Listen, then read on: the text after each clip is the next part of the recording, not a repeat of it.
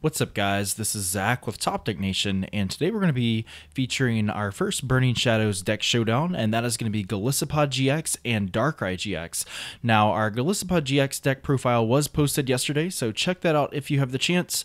Um, it's a really interesting deck. We have Zoroark as a secondary attacker, but really we're focusing on uh, both Golisopod, the GX, and the non GX from Guardians Rising. So it'll be a really interesting matchup here.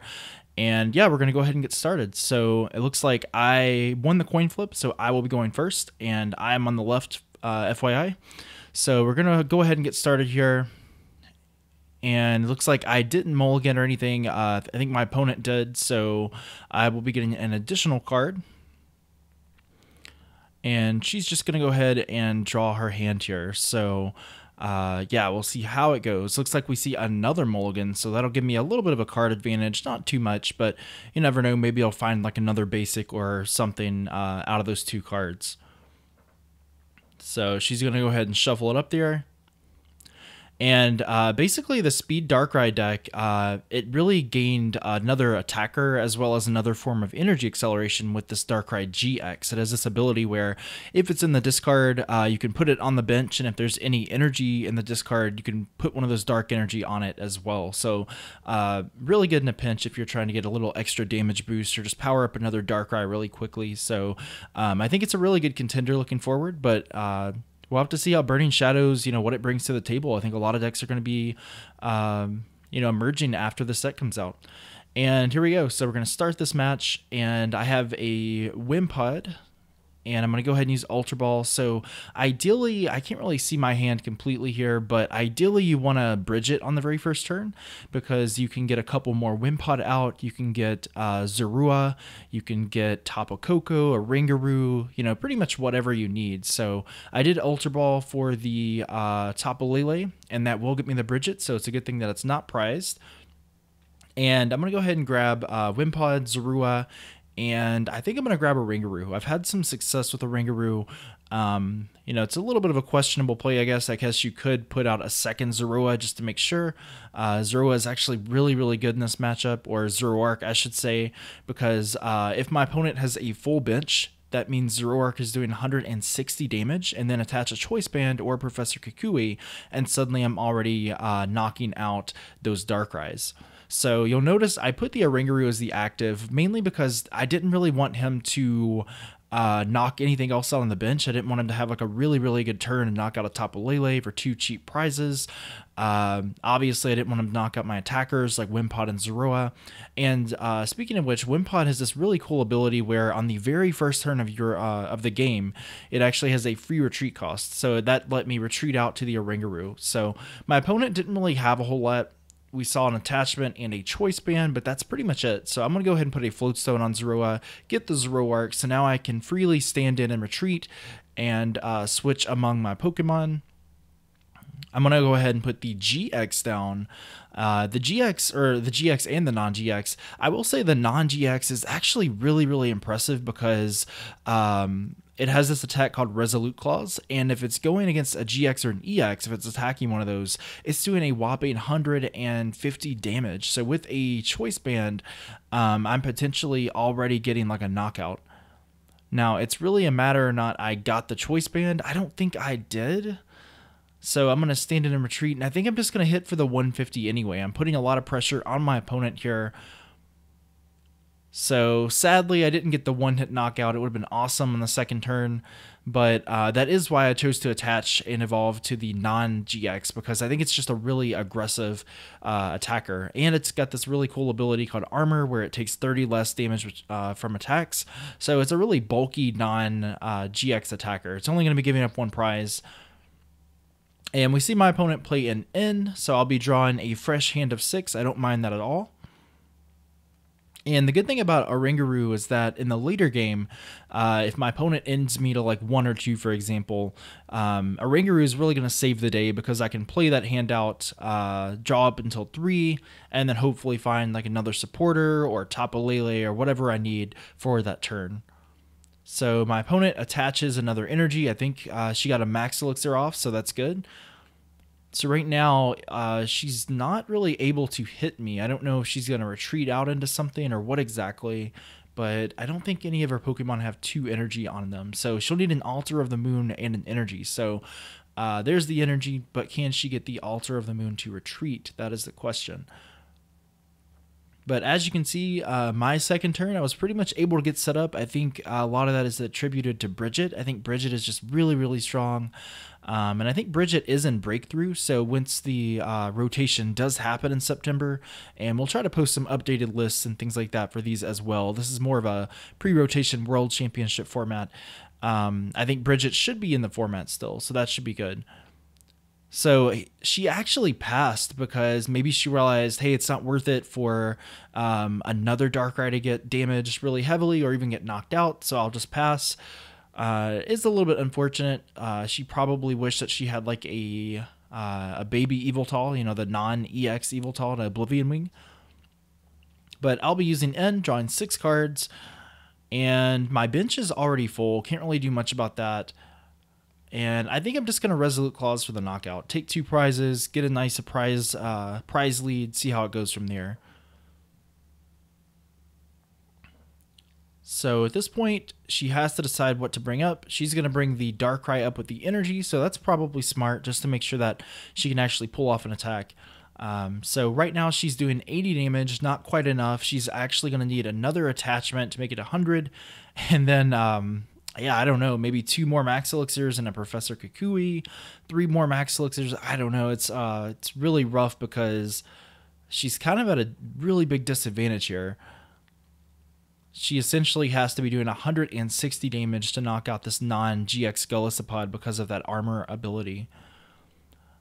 Um, on the other hand, she could go for something like Zoroark. She could uh, maybe try to soften up the GX but it really just kind of comes down to that. But uh, I think this is a smarter play actually. She's gonna bring up the uh, the baby Yveltal. Now, if she can attach to it or Max Elixir or something, you know, it might be a way just to kind of soften something on the board. Hard to say. Uh, there comes the Altar of the Moon down, so she's slowly getting set up here. The energy comes down. And ideally, you know, some kind of supporter would be great here. The Field Blower is great, and there we go, a sycamore, a nice clean sycamore at that, discarding pretty much nothing. So uh, really well played out there. And she's just kind of thinking, you know, what should she uh, do at this point?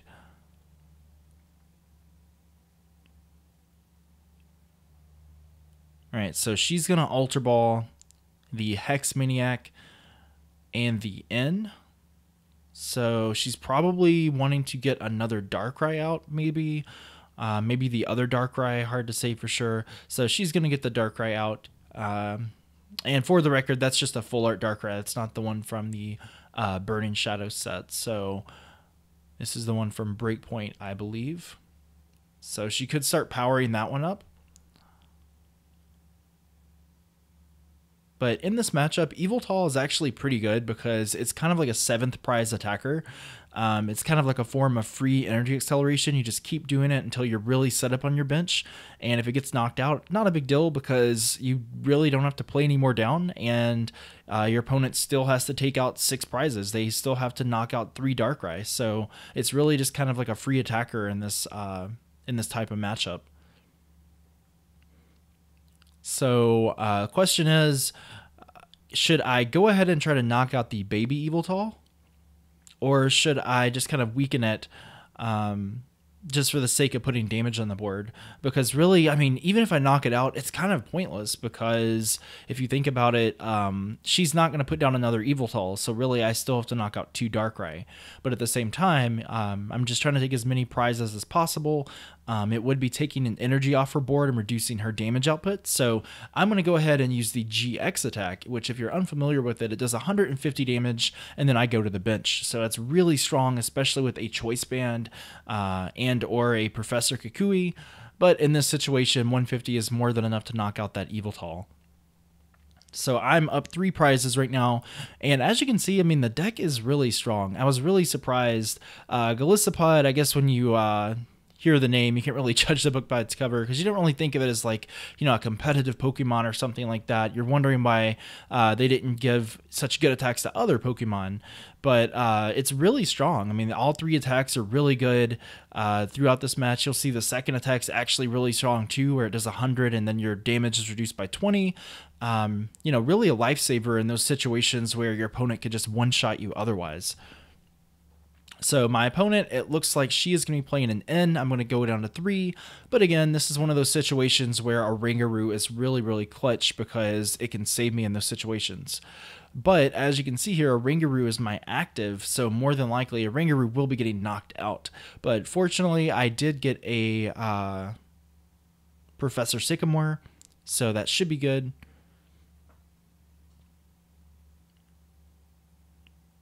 And we're going to see another Ultra Ball here. So maybe she's trying to get the other Darkrai out at this point. I'm not really sure what she's trying to get. We're going to see the Ultra Ball come out.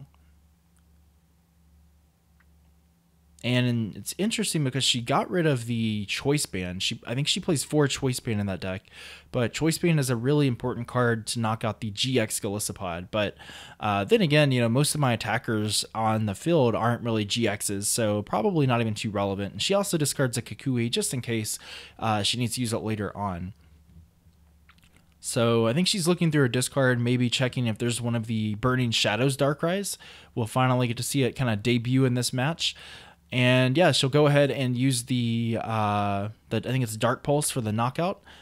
So Zoroark is going to be the active now. And really, a choice band is all I need for a knockout here, I think, because Golisopod's doing what it needs to, but I really need a choice band. Even with the Professor Kukui, I'm not exactly doing enough damage here, so choice band would be really ideal for getting a knockout.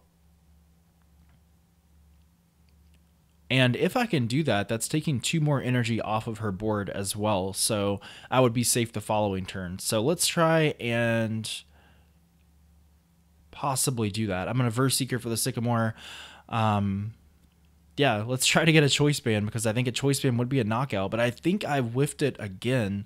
I played three in the deck. I don't think any are prized. I think it's just really unfortunate luck. Um, so yeah, I'm gonna have to just probably hit with the I'm not even sure which one I want to hit with. I mean, I guess ideally I'd want to hit with the GX because it's a little bulkier.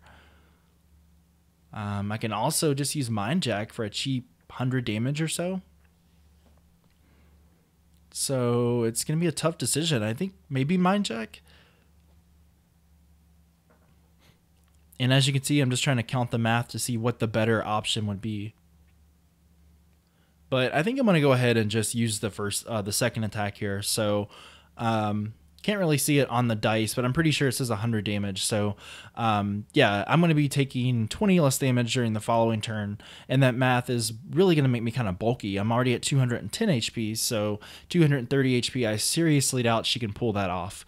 Um, she might come close because Max Elixir, attaching for turn, Choice Band, that damage adds up really, really quickly.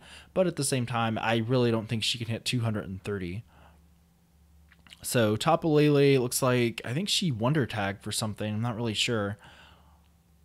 But that Darkrai is in the discard, I believe, so she can use that ability, and she's gonna take advantage of that. She might even have two Darkrai in the discard. I'm not sure, but she's gonna go ahead and take advantage of that.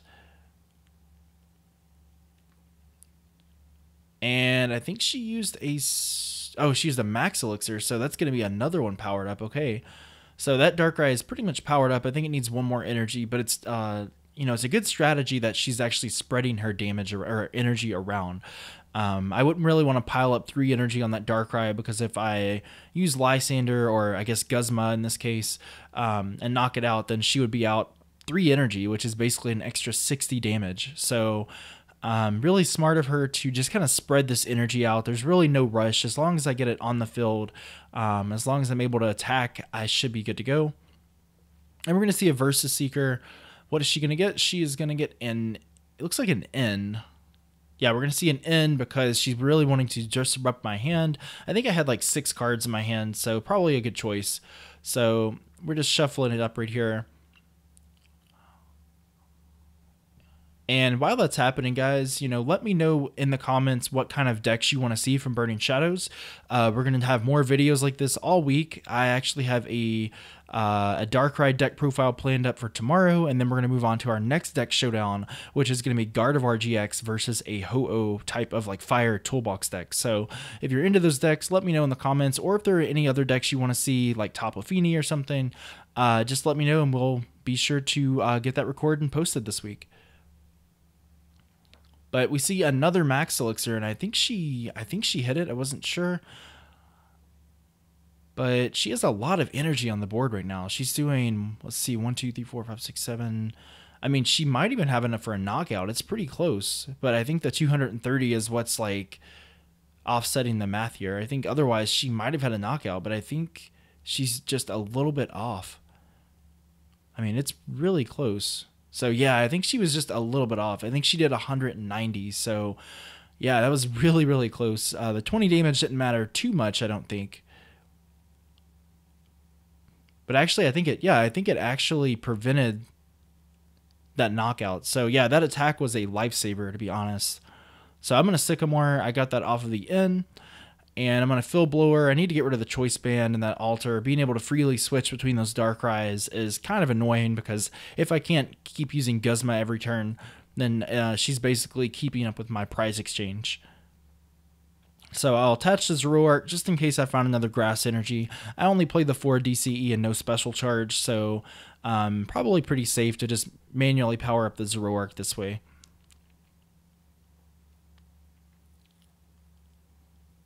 So I guess I'm going to retreat and use Mind Jack for 130. Um, I didn't really want to have to do that, but I figured if Zero Zoroark's knocked out, it's not a huge deal. He only gives up one prize. Um, and we see another Altar of the Moondown. I think she plays four, so it's really hard to just kind of permanently get rid of that problem because uh, she can just hold on to them. She can wait until the Field Blowers are played and just puts them down to replace it. So, and that's one reason why this Speed Darkrai deck is so good going into the next format. Um, we'll probably see a lot more play from Marshadow GX. Uh, it's a fighting type and it has an ability that says it can use any attack from uh, your discard, from your basic Pokemon. Uh, it does need the energy, but that is pretty much a nice little counter to these dark decks that are probably going to be popping up soon.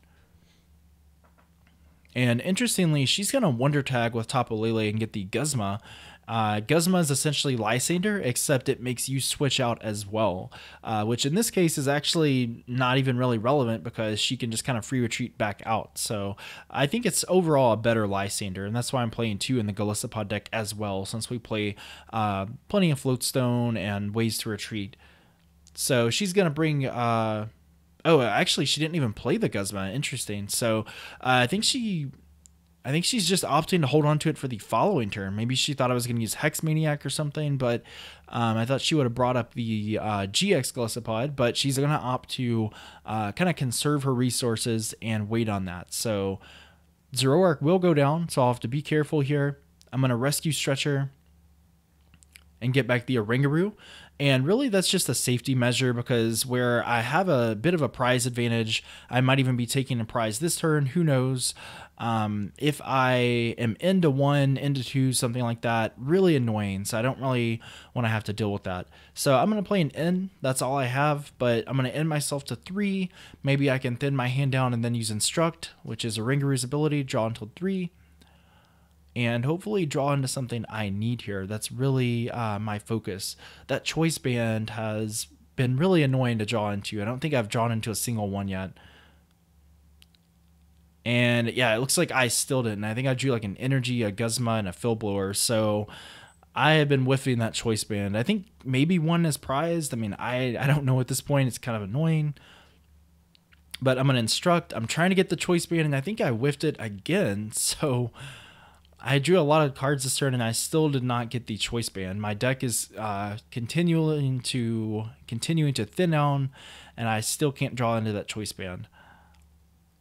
So this time I'm just going to retreat and hit with that GX. It's really unfortunate that I can't uh, get the knockout, but I will do 150.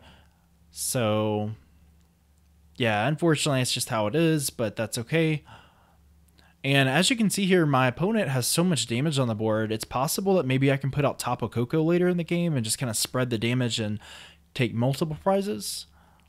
That might be an option, but um, yeah, as you can see later on in this game where I haven't taken these knockouts, I've let my opponent here just kind of stack all these energy up. And I mean, if you look how many energy on the board, it's just kind of insane at this point. I think there are like 10 energy on the board. So that means Darkrai is doing 220 damage. So easily one-shotting my Golisopod, anything on my board really.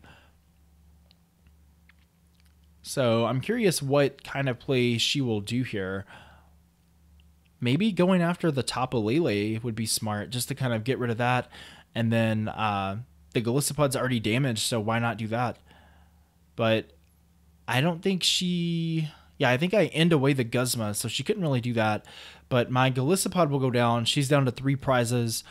And at this point, I am a little bit worried, but this Darkrai that she brought up is actually damaged. So she's going to have to pretty much uh, take the loss, take those, uh, take that knockout. So I'll go down to one prize more than likely. And as you can see here, I used Acerola, and that's going to be a huge comeback card because she was probably planning on uh, Lysandering that uh, that Golisopod out. So I was able to pretty much heal it off, replace it with another one, and then use the first attack. So if it became active, it does 120 damage for one energy. So I was able to do that. A really good combo. Acerola probably saved this game here because otherwise she could have just brought it up and knocked it out. But it set her back a turn or two at least. And now I don't know if she has enough energy on the board. It looks like she's uh she's got eight energy on the board. So that means she's doing 180. So she has a choice band, I guess she's doing enough for the knockout.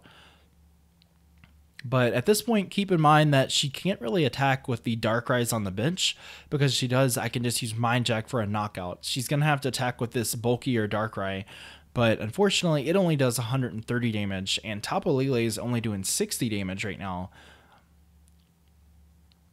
So it might be smart to possibly soften up this Golisopod and then use Tapu Lele the following turn.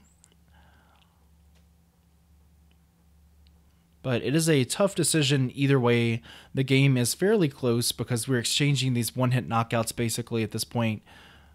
So she's just kind of thinking out her options, and that's fine. But um, yeah, if there was any way she could like Ninja Boy or something like that, it'd be pretty cool to see the other Darkrai come out. Um, that might be an option for this deck as well, maybe looking ahead. But uh, she damaged uh, the Golisopod, did 130 damage. I'm down to one prize, so if I can bring up the any of these Darkrai's, I would be in great shape. So there's the Guzma. I had the energy, and yeah, so Darkrai will go down. That will be game one. So as we begin game two, um, yeah, looking ahead, that's what we're kind of uh, expecting. This matchup is pretty even between the two. Um, I think earlier game, I think Golisopod has the advantage simply because of. Uh, you know, it's really bulky. Um, it can do more damage right off the get go. The second turn, the GX can hit 180. The GX attack can hit 180 with a choice band. So I think early on, Golisopod has the advantage, but later on in the game, it gets kind of close because of the. Um, because of Darkrai. You're having all these max elixirs, you're attaching with Yveltal, your manual attachments, your choice bands, and it gets to the point where you're kind of exchanging those knockouts as well. So, um, yeah, so at this point, let's go ahead and jump into game two. We'll kind of skip the shuffling and stuff, and we'll see how that goes. Okay, so kicking this game off, uh, she will be going first since I've won the first game. Uh, that's usually how the match series goes. We're playing best of three here. So uh, she gets a looks like a better start than last time. She's able to go ahead and discard the uh, the Darkrai with the ability and a Dark Energy, so that's already going to be an energy on the board this turn. Let's see what she gets off that. Maybe a Tapu Lele. Um, hard to say for sure. Maybe another uh, Darkrai with the Dark Pulse attack. So we're gonna have to see what happens here. So we see a Tapu Lele, that's good. She'll be able to get a supporter, draw some more cards this turn and she's going to grab an N. Okay, so maybe she has some resources in her hand that she doesn't really want to get rid of. Maybe some uh, extra energy cards, maybe uh, Field Blowers or something. Hard to say for sure, but she's going to opt to N, and I think she's. Let's see if she's going to go ahead and play it or not here. she may want to thin down her hand a little more. So Altar the Moon, uh, let's see, she's going to go ahead and use that Darkrai ability, activate it, so that's good. So her start is quite a bit better already, especially if she can maybe get an attachment this turn. Um, yeah, there's a choice band, so yeah, there's the N. Okay, so her start is quite a bit better than last time.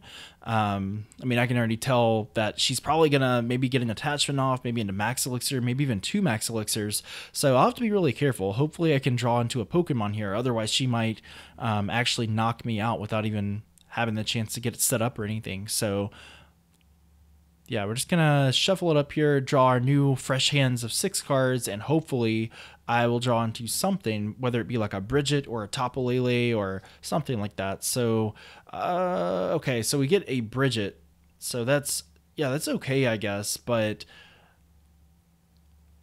yeah, that'll will at least prevent her from donking me the following turn, but I will need some kind of supporter looking ahead, so we'll have to see what happens.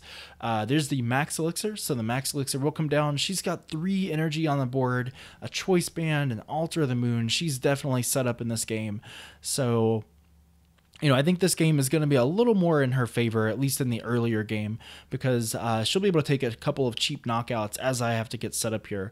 So I'm going to play Brigette. I have an Ultra Ball I drew, so in the following turn I can Tapu Lele for another supporter, but for now Brigette is what I need. So I'm really thinking here, should I go for the same Oranguru strategy as before? Um, didn't really help a whole lot. I'm thinking maybe a second Zorua might be good just to make sure I get the Zoroark out. So I'm just kind of searching through the deck, seeing what is prized and I, you know, I think I'm leaning towards Zorua, honestly because I want to make sure I've got plenty of attackers this game, um, especially where she's going to be a little more aggressive. So I'm going to go ahead and do that.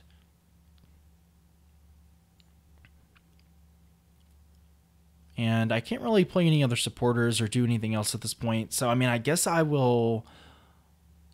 Yeah, I guess I'll just kind of attach to the Wimpod, and I think I'll have to pass because I I mean, I guess I can Ultra Ball for Tapu Lele and let it kind of take a hit, but at the same time, she might actually knock out Tapu Lele the following turn. All right, so I am going to have to pass. The Wimpod is probably going to be knocked out, unfortunately, but that's okay. Um, we see a VirtSeeker for another N, so she's going to get a fresh hand of six cards, and we're going to see what she gets off of that. She's already got a really good setup here. As long as she gets an energy, she can attach it to the Darkrai and get that knockout all ready for another prize or for the first prize of the game. So yeah, I would say in general this matchup's really close. Like I said, Golisopod usually is a stronger earlier game because by the second turn you can already start one-shotting some stuff. But Darkrai um, really is a force to be reckoned with. It's almost tempting to uh, you know change a couple of the counts of the list going ahead. Maybe adding like a third Darkrai GX to make sure we get those energy on the board but uh, it seems like the deck is running fairly consistent. And again, tomorrow, guys, I will have the full deck list up, so uh, check it out on our channel if you are interested in that.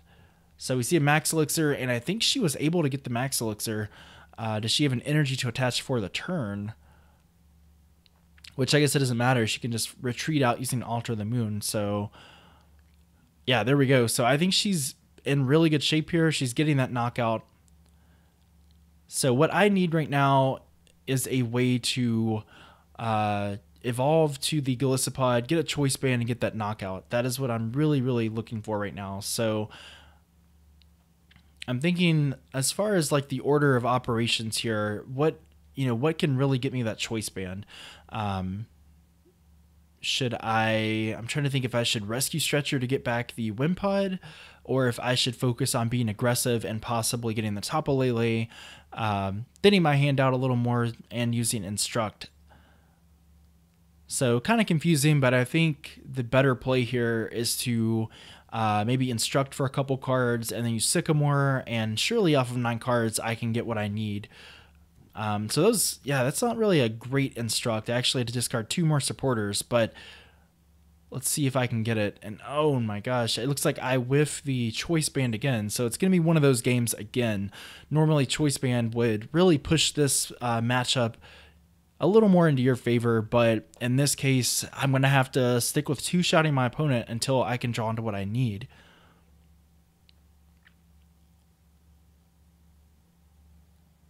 So I think I'm just going to yeah, I mean, I think I'm just gonna stick with using the uh, yeah, the second attack. So doing 100 damage and then reducing it by 20 the following turn.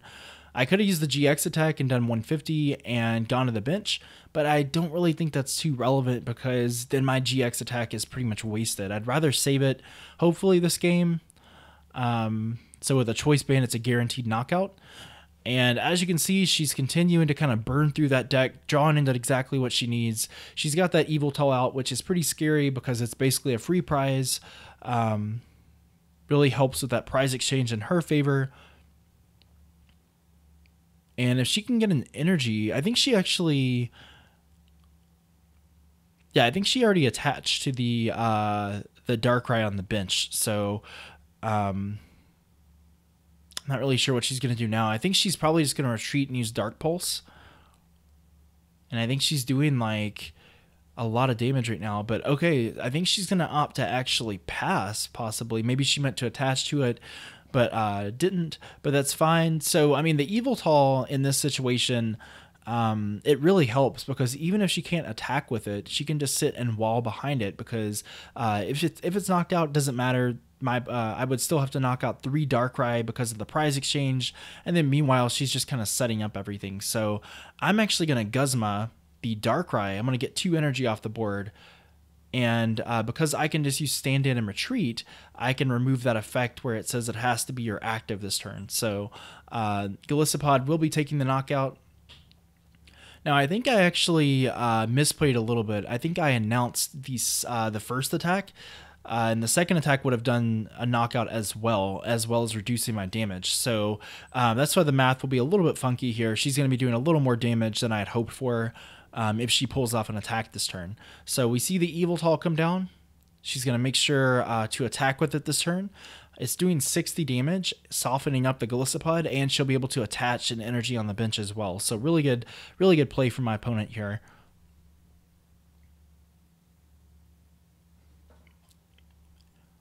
and um, yeah, and there's not much, not really much more I can say here because she has a pretty good board state, even with that knockout. I've got four prizes left, so hopefully I can knock out two of the GXs uh, or the EXs and not have to worry about that Yveltal.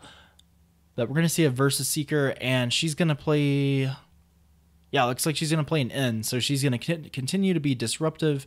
Um, I do have a Oranguru out again this turn, so Hopefully that will draw me a couple extra cards.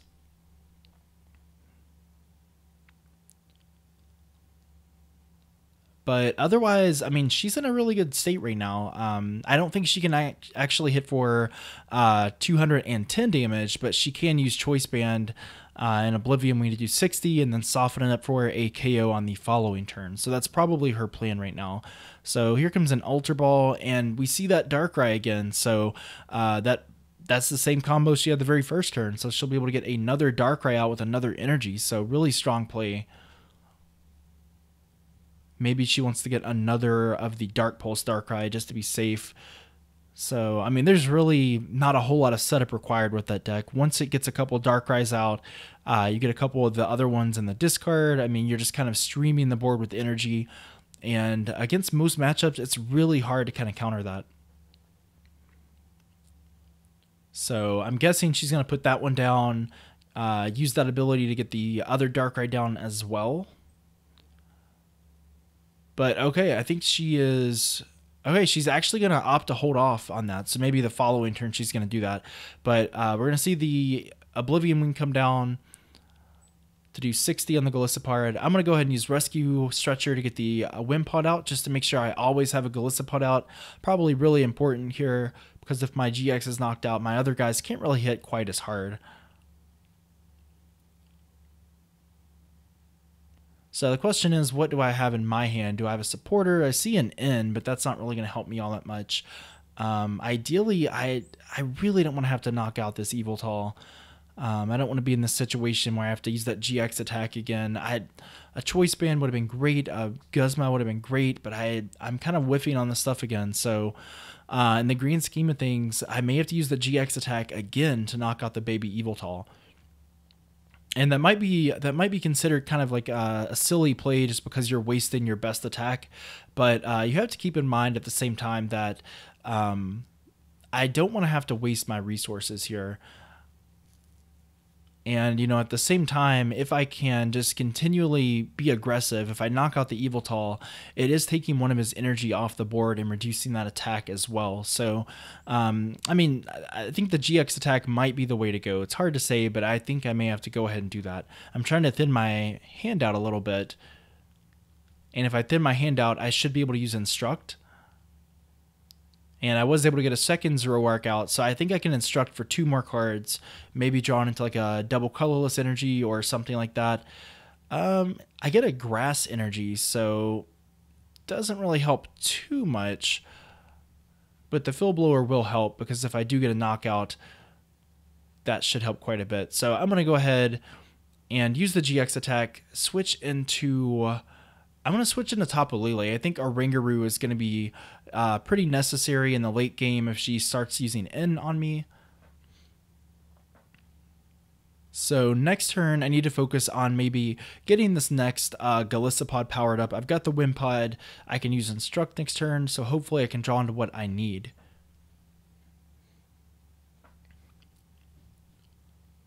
So we see the attachment. There comes the Darkrai from the discard.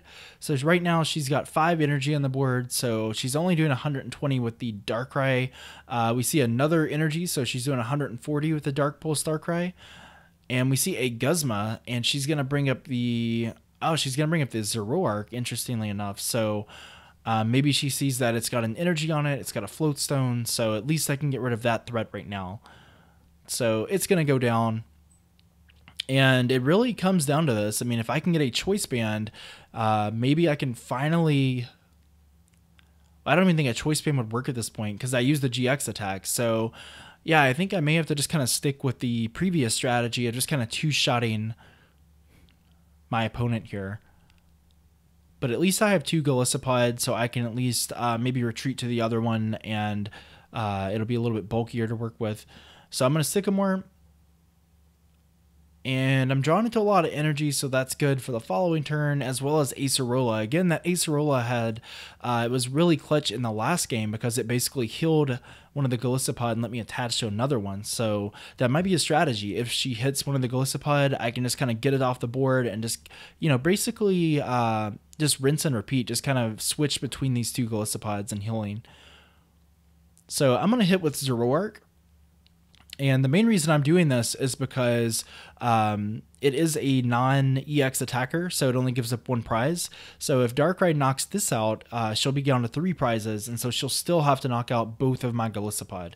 Um, if she found a way to knock out one of the Golisopod, you know, the next turn she would probably just Guzma out the Tapu Lele. So basically, um, I'm making her have to take three knockouts instead of two. At least that's the plan. You know, if she played Guzma or something to get around it, um, that would be another story, but I think I should be okay this turn. And as you can see here, like just like last game, um, the later game is really good for Darkrai because she's got a ton of energy. She's got like seven energy on the board here. So um, probably the best play here, not attacking with Golisopod. It would probably go down. So what is she going to play? I think she's going to play the Guzma. Yeah, I think she's playing the Guzma, and I think that might be a knockout, to be honest yeah, she's able to get a knockout because the Guzma, I think it was attacked by the Oblivion Wing earlier, so that will be a knockout. And so now the game is really close. It's actually in her favor. If she can Guzma out a Tapu Lele, she pretty much wins the game here. So um, it'll be interesting to see what happens. I've got the DCE on the Golisopod, and I think my game plan is to probably knock this one out, this Darkrai, uh, and the second attack by a Golisopod will reduce that damage. So unless she'll be able to hit by 230, she won't be able to knock out the Golisopod. But I'm trying to see if there's anything else I can do here, and I think I'm just gonna... Yeah, I'm just gonna play the N. Now, unfortunately, Acerola does require you to have damage on the board on your Pokemon. Um, otherwise, I could have just scooped up the Tapu Lele and maybe uh, did that instead. So that way she would have to, you know, continue to, to damage me instead of taking a one shot.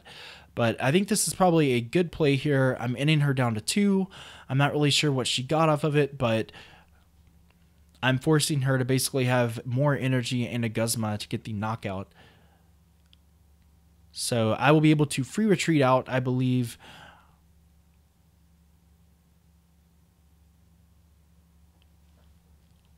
And, you know, actually, I'm trying to consider is it worth attacking with the Zoroark or is it worth attacking with the Golisopod? That is, um, yeah, I'm not really sure. Either one takes a knockout but I'm kind of tempted to hit with a Zoroark because then um, she'll be required to yeah, I mean, then she'll be required to have that Lysander. I guess regardless, doesn't really matter too much in the green scheme of things.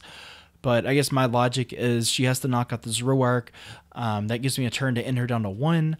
And then she would need the Guzma again. So I think this is probably a safe play. I think either way, it kind of leads to the same thing. But either way, I've got both attackers ready to go and I am down to one prize. I mean, she really needs to end me down because I think I've got a decent sized hand at this point. So we see another Darkrai and we see a Tapu Lele. Uh, I think she plays four in in the deck, so more than likely she should be able to grab an N. Um, and then she'll be able to use Dark Pulse for the knockout here. So again, really, really close. We're both going to be going down to one prize. Oh, she's going to actually Sycamore. Okay maybe she realizes that you know it's kind of pointless to use the N if I'm just going to instruct afterwards. So uh, maybe she's looking for a certain card. Maybe she's looking for a Guzma for the following turn. So she's going to play Sycamore. We're going to see what she gets in just a second here. But that's really what she needs here. She's going to need a Guzma for the following turn. So I see an N in her hand for the following turn. That's not bad, but I don't think that's quite enough to get what she needs. So she's going to Field Blower with a Choice Band. That's probably a really good play. Um, but otherwise, what is she going to do? She's got six energy on the board. So she's doing 140. So she'll knock out Zero Zoroark, go down to one prize. And um, I'll bring up a Oranguru because I think I've got a Float Stone in my hand. She should be out of Field Blowers at this point, so that should be fine. So I think what I will do is yeah, I mean, she's doing so much damage that even if I um, didn't bench these guys down, she could still knock out a Oranguru. So I'm trying to thin my hand out as much as I can. Um, again, all I'm doing right now is like 120 damage or so, not enough to really knock out anything on her board. But I will Tapu Lele, and I will get the. It looks like I'm probably going to get the N.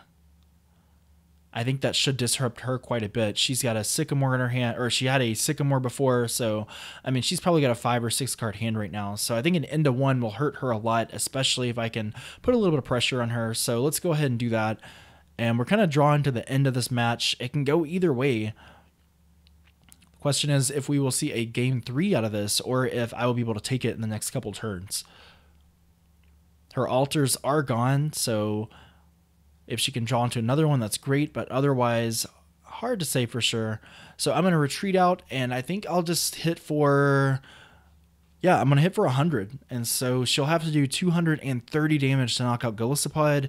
Um, otherwise, if she has a Guzma or a Versus Seeker, she basically wins the game. So can she pull that off? Does she have anything in her hand? Does she have what she needs to get that combo off? Um, she's already used both of her Tapu Lele, so that won't be an option. Um, her deck looks pretty thin. Her discard is pretty much piled up there, so I think she's kind of run out of some of the supporters. I'm sure she has a few outs left, but does she have them in her hand? And I don't think she does, simply because uh, I don't really see her, you know, putting down the Guzma or anything. So I don't really I don't know I don't know what she's trying to do here. I think she's just trying to check the discard, check my discard to see if I have any Guzmas left, if I have any Versus Seekers left. And I think at this point in the game, I was pretty much down to like next to nothing. I think I've used both Guzmas, uh, two or three Versus Seekers. So, you know, there might be one or two outs left in the deck. But I think she's going to try to play it safe here because she realizes there's not much more I can do. I can hit for, um, I think, 100 after the, the effect. So next turn I can knock you out if you don't knock me out. Or 110 with the other Darkrai, I should say. But there you go. It looks like off of the N, I was able to get the Guzma. Uh, maybe it was a top deck, not for sure. I think it was off the N though. But the Guzma will allow me to bring up the Darkrai and go ahead and get the knockout. And as you can see, I just kind of yeah, just kind of swooped it out of there. So um, I hope you guys enjoyed this video. We're gonna have more of these in the future. Uh, we're gonna be doing Ho-Oh versus Gardevoir later this week. We're gonna have the Darkrai GX profile, so the same deck you just saw here in uh, tomorrow's video. So check that out. Like us on Facebook at Top Deck Nation. Show us your support. I would really really appreciate it. And uh, yeah, like us on. Uh, be sure to like this video and subscribe to our YouTube channel as well.